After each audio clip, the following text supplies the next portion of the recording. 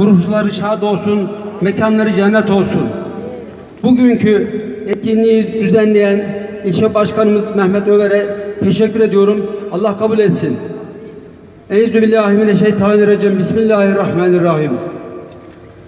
Elhamdülillah, elhamdülillah, elhamdülillah ellezî emena ve sekene ve ceale minel müslümin.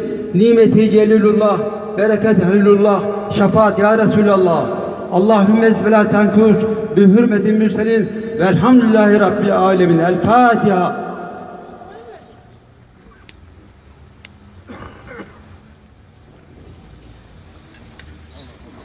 Allah kabul etsin.